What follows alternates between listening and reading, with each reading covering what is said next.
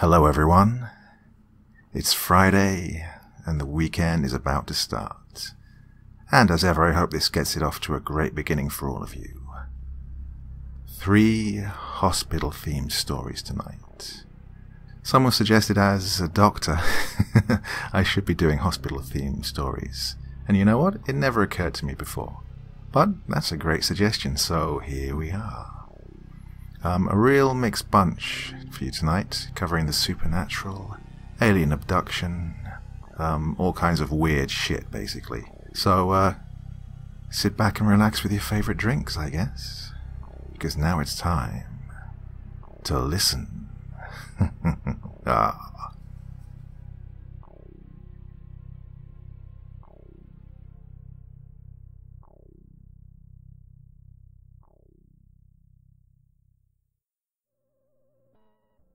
It was a stupid idea. I just wanted to see what was inside and what it was all about. It was scheduled for demolition. It had been plenty of times before, but it had always got delayed or cancelled. I just wanted to know what was behind all the rumors. No one else wanted to come with me, so I had to go alone. Well, I really didn't want to go by myself, but what was the worst I was going to find? Hobos, crazed junkies, a feral dog. I figured I could handle anything, but I brought a knife anyway. The stories were just that. Stories. There's no such thing as ghosts or monsters. I decided to start out at midday, so I had plenty of time to explore the building while there was still daylight. Even so, I wasn't going to stay there during the night. There was something off about that hospital, and I had to know what. It was hard to get in, but I managed to find a broken window on the first floor on the west wing. The room inside was a huge mess. Things had been smashed and thrown around everywhere, and a bed was lying on its side. Sheets were strewn about, a small table had fallen, and various medical utensils were scattered across the room. A scalpel was embedded in the far wall. I concluded that it had probably been some stupid kids messing around, thinking they were cool for destroying things in an abandoned hospital. It was darker than I first imagined. I cursed my poor memory, wishing I'd remembered to bring a flashlight. Just in case, I decided to try one of the light switches by the door on the left. And much to my relief and surprise, they worked. I didn't spend much time wondering why. The door next to the switches was hanging half off its hinges. Pushing it out of the way, I headed into the corridor. It was even darker, with very little light at all. There was a strange smell, and it was slightly disturbing. I couldn't put my finger on what it was exactly. I felt my courage leaving me. This place was so creepy. No, I told myself. There's nothing scary here. If there is anything else, you can probably kill it. With that, I took in my surroundings. To my left, the north, there was an emergency exit, and to my right, the hallway continued into the building in complete darkness. I felt myself shudder as I looked down it. I asked myself if the emergency door still worked. Checking around in the dark, I couldn't find any switches nearby, and I did not want to leave the comforting light of the first room. I was just about to head back when the lights in the corridor flickered on. Scared me half to death. I decided that the lights in the other room were somehow connected to the hallway lights, and there'd just been some kind of delay. I moved down the corridor and further into the hospital. I saw a few dark, empty rooms on the way. There were a few creaks and some little noises, but I was certain that they were just the building expanding in the afternoon heat. What was strange was that the corridor just went on like this for an impossibly long distance. I was sure that it should have reached the end by now. I turned back to see how far I had come. Some six doors down was the room I'd entered, and the same emergency exit beyond it.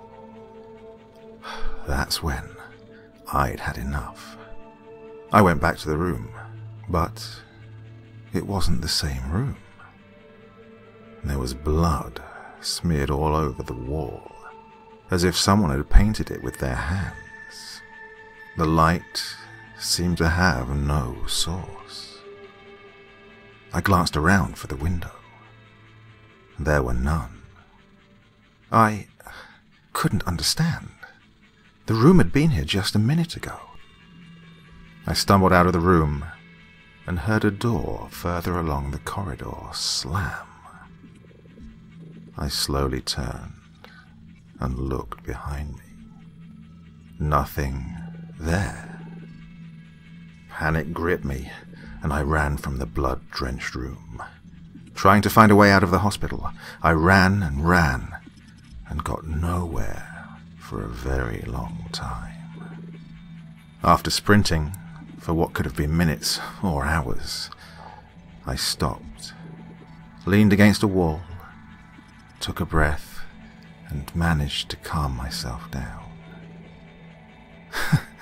there must be some sort of reasonable explanation for all this. Maybe you took a turn without realizing, I thought to myself. Suddenly, there were a series of loud groans and creaks behind me. To my right, there was a new corridor. I walked over and investigated it. No more than ten meters away was a spiral staircase. It occurred to me that spiral staircases aren't usually found in hospitals. But, with all the other weird crap going on, I wasn't going to question it. I went over to it to check how stable it was. I shook the handrail. Hmm, seems sturdy enough. The whole thing seemed to be made of some sort of black metal. I looked back at the corridor. I knew if I went back there, I would be trapped forever. I didn't take a turn and forget about it. It was this place. The stairway was probably the most normal thing there. Nothing strange happened as I climbed up. It ended where I'd expected it to, and I walked off onto the second floor. It was another corridor, almost exactly like the last one, only it went west to east. Looking behind me, I saw that the stairs had disappeared. I need to get out. There has to be a way, I thought. I searched all the rooms in the hopes that I could find some way to get out. Some of them were ruined with objects thrown everywhere.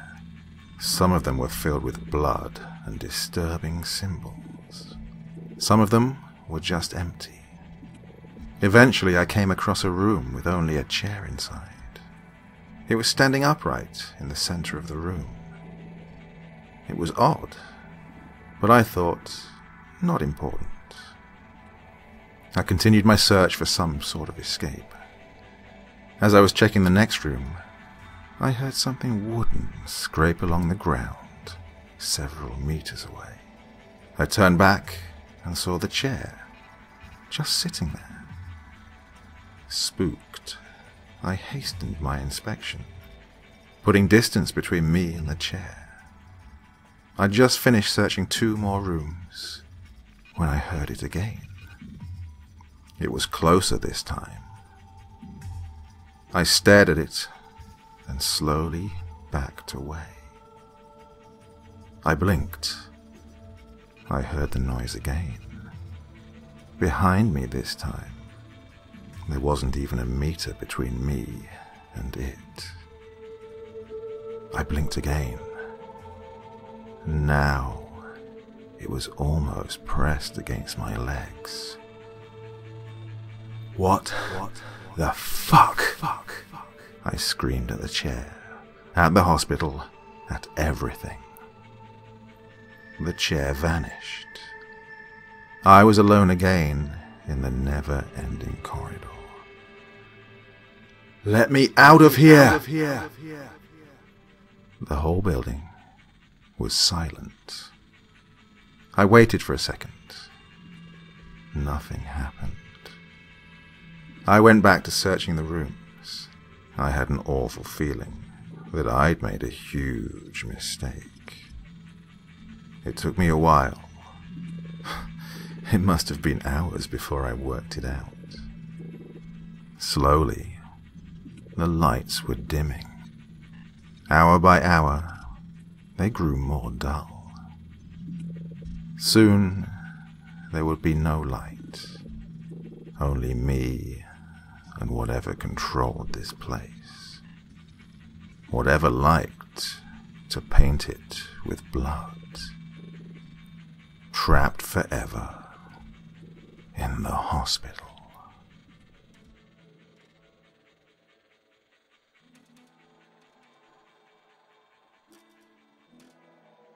One, two, three. One, two, three. There were three lights every three feet in this hospital. He noted dully how they fluctuated as he was rushed in on one of those gurneys. He could feel the blood draining, oozing from his wrists, his elbows, and sides. The leather straps holding him down were slick with blood. The doctors around him were yelling to one another, as though worried. His eyes were cold, and his breath was shallow. One blink, and he was in a hospital room. Everything was white. His arms were bandaged, and so were his sides. There was a slight sting, one that was dulled out by pain pills. Rage began to fill him. They'd taken away his red wings. He was an angel, and those damned humans had taken away his red wings. How dare they? He was the one they should be bowing to. He was the one that would save humanity. He was God's messenger. It then dawned on him, and he began to giggle laugh even. Simple minded humans did not understand the importance of his life. They were afraid of him, and they damn well should be. He sat up. Those dumb apes hadn't even strapped him down. They thought whatever kind of sedative they'd given him would be all they needed until morning. Maybe, but he wasn't human. Nothing would hold him down or keep him obedient.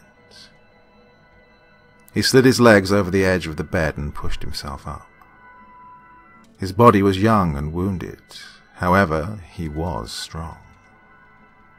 Gingerly, he began to remove the bandages, dropping them silently on the floor. His skin was red, gruesome, and stitched. He stared at them and began to cackle yet again, louder this time. He picked at the stitches, pulling them free. Blood oozed from the reopened wounds, and for a moment he paused and stared at the veins peeking from his wounds. They were now turning red, exposed to the air. He smiled and pressed his fingers into the wound. Beneath the vein, and pulled up and freed them. There was a tear before the blood began to pour.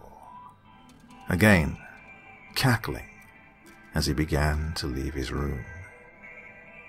There was no one to stop him down either side of the hallway. Well, there were patients, however. He strode down the halls, wiping blood all over the white, sterile walls. He walked into the room of a young girl. She was dying, a cancer patient. However, she was on the road to recovery, at least according to the clipboard at her feet. He let out a tss as he walked up to her and gently touched her cheek. Poor child, he whispered, rubbing his blood soaked thumb along her skin. God will take you, I promise. He turned to the saline drip IV that led to the crease of her arm. He pulled the tube from the bag and began to let his wrist drip into it. He then reinserted the tube. Suddenly, the little girl's eyes snapped open. Her mouth widened, and she stared up at him. She choked and then writhed. Her hands clawed at the sheets, and her legs cramped. Then, her eyes were melting, her tongue boiling in her mouth. The stench of burnt flesh filled the air. He watched as her skin blackened and her teeth charred. And then it stopped. He turned and trotted down the hall. The next room, there was a man that had been in a car accident. He placed the blood into his IV and left without waiting for the man's reaction. And then another young boy, maybe about the age of ten. He had been beaten to a pulp. However, as the angel neared, he shrank away. He shook as he stared up at the bleeding man. The angel turned his head and smiled. His skin receded from his teeth, which were filed. His eyes were silver, and his wrists and hands were smeared with blood. The boy's breath hitched. The man stood beside the boy's bed, his smile gone now. A thin line was all that he could see. A few minutes passed, and the boy began to calm. He took in a deep breath and relaxed, almost like they had just become friends. The angel leaned over the boy who didn't withdraw. His silver eyes were hollow and ringed with blood. The boy, however, did not wince. And then, suddenly, the angel bit down on the boy's face. A sickening crunch of the boy's skull sounded, and the boy let out a scream. He cried and tried in vain to shove him off his body. However, his hands were restrained as the angel gnawed on his face. The skin was slowly torn from his head, and his eyes were pulled from their sockets. He sobbed as the flesh was torn from his mouth. The angel jerked back, swallowing the boy's flesh in one gulp. As he pulled back from his work, he examined it Flesh hung off the boy's jaw, and he was still alive, crying. His voice was feeble as he cried. The angel released his wrists. The boy hyperventilated from his lack of a face, and he turned to the side, his hair falling onto his sticky red skull. And then he was gone. Happily, the angel skipped down the hall. He smeared blood all over the walls as he did. In his wake, he left crying and screaming men and women. His veins were all over the floor as he cackled. But suddenly, he felt weak, light-headed and dull. He stumbled to a halt beside a door. No!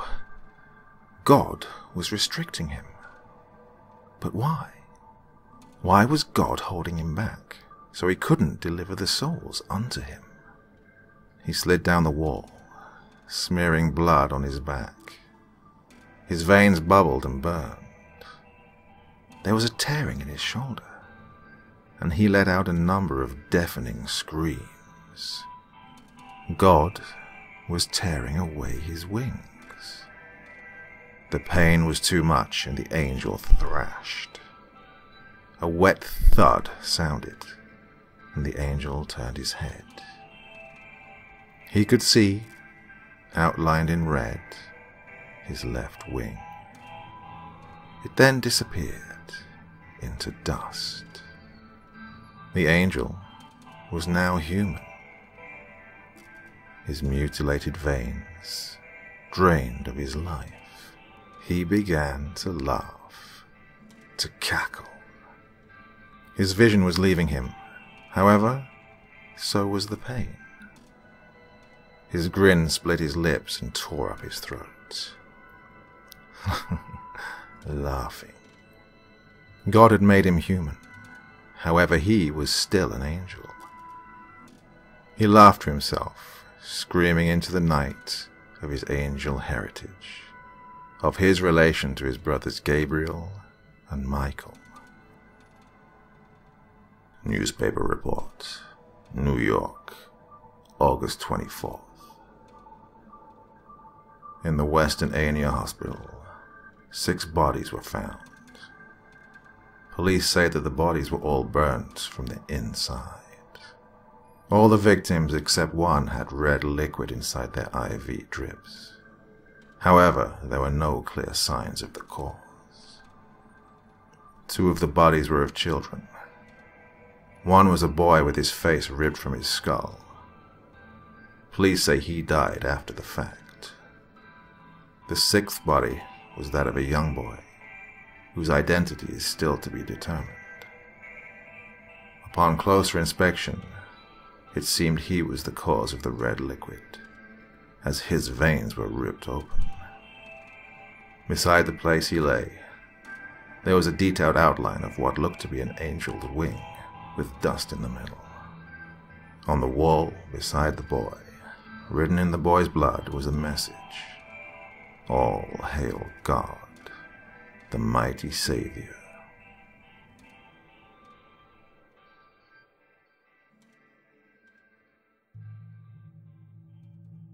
Those who inquire of my occupation are usually more mortified than intrigued when I tell them what it consists of. I do understand their disgust, however. Working around dead bodies tends to make many very uncomfortable. Those who become interested in the business usually leave within a few months. The sight of sliced limbs and contorted bodies can frighten away almost anyone. But for me, this choice of profession provided an opportunity of a lifetime.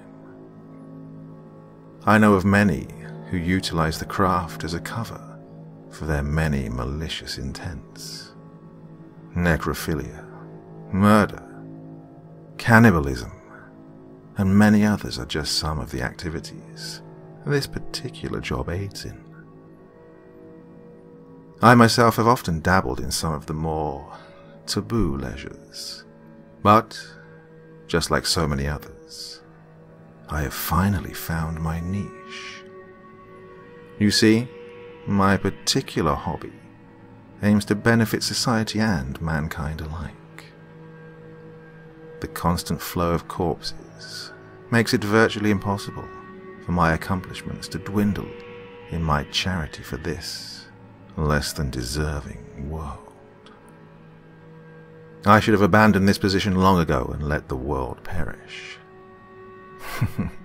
my word, I feel like I'm rambling. I suppose I should further explain what my specific hobby actually is. You see, there are beings watching over us at this very moment, waiting for their chance to rid the earth of its imperfections. I have, on multiple occasions, encountered these beings at a nearby Starbucks. Of course, garbed with human like semblance. They ordered caramel frappes. stating that it's a delicacy on their planet.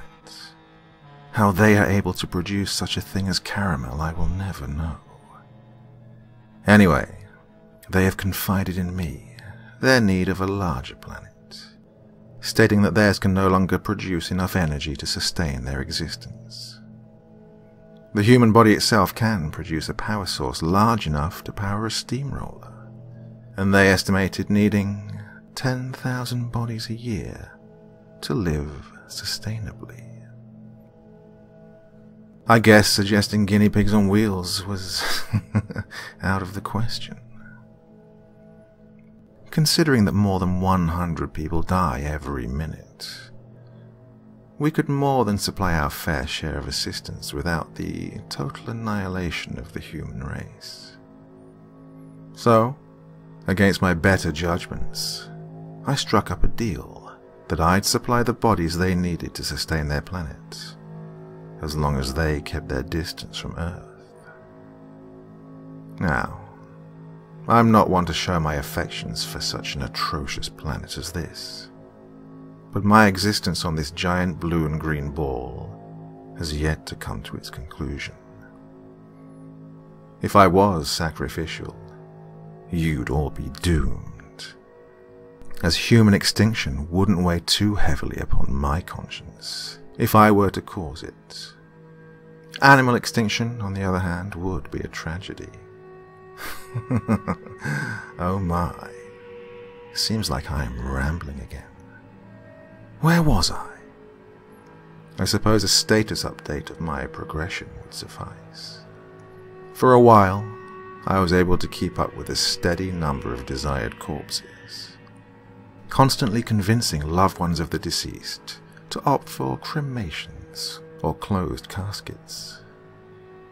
Curious minds often threatened to end my charitable donations to our alien overlords, but a large enough payoff usually kept them quiet. After a while, their need for human cadavers increased as they began the industrialization of their society, claiming it to be inspired by our civilization it became increasingly difficult to keep up my end of the deal, forcing me to resort to drastic measures. Do you know how incredibly embarrassing it is to defile freshly closed graves? I felt like a grave robber without a sense of morality left in my body. It's incredibly demeaning. I quickly discovered that, even after working nearly an entire night, I could only recover about five bodies a day. Eight if I cut out lunch breaks. Oh, that delicious pastrami on rye would just have to wait until I'd returned home. Having to pay others to do the job for me was even more humiliating. I felt like a pimp for a chain of ghost bride operations. Now, I suppose I sound a bit condescending, but I'm sure you'd feel the same if the world's safety were in your hands. I've even had to resort to stealing bodies from other local funeral homes, or paying off those in different cities to deliver them to me. As the progression of their society expanded, my workload doubled, and soon the demand swelled beyond that of the supply. I was able to convince many to take part in my daily donations, but again found it difficult to keep up my end of the bargain. Fortunately for me, there are those desperate enough to do almost anything for a payoff, and I am more than willing to offer up the dough. Murder, from many viewpoints, can be viewed as either a positive or a negative, depending on its context. If someone murders a paedophile or a rapist, who is really the criminal? Does anyone really bat an eye if the guy in an action film dies unexpectedly? Sometimes, to do what is right, the uh, wrong path must be followed. And in order to protect the world, sacrifices must be made. There are more than enough troubled minds out there willing to take an innocent life, many participating just for a cheap thrill. I myself am not opposed to the sacrifice of the few to save the many, and I'm not against taking part in the bloodshed. The sliver of guilt you feel when taking someone's life is damaging at the very least, but you quickly learn to get over it. Their horrid screams become muffled by your desire to survive and your thirst for a continued existence. There are at least 150 serial killers at work at any given time. And it's safe to say 50% of that population works for me. We have, so far, been able to keep up with the demand from those insufferable beings in command. But as the amount continues to grow, we get more and more desperate. The private residences of common citizens becomes a breeding ground for uh, potential donations. Controlled arsons and carefully placed clues allows us to keep just beyond the detection of the authorities and keep us from getting caught. Despite what you may think of me, dear listener, I'm sure, deep down, you approve of my actions. After all, this largely benefits you as well. It's true that I began this deal under selfish intents, but I believe if anyone's life was in jeopardy, they'd go down the same road I did. I never really planned on conveying this information to anyone, let alone a total stranger. But, as I've stated before, I'm extremely desperate. As of now, we're in dire need of volunteers for sacrifices. We know this is a lot to ask but our local wells are starting to dry up. And we refuse to kill any children. We do have morals, you know. If we cannot maintain our end of the bargain, then I don't know how much longer we'll all have to live.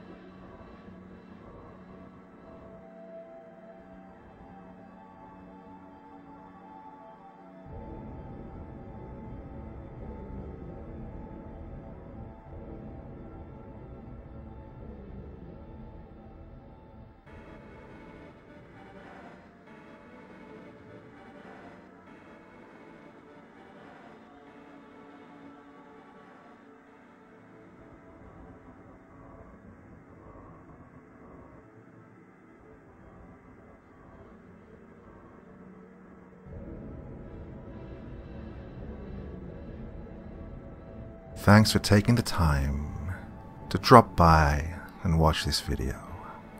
You know what would make me a happy doctor?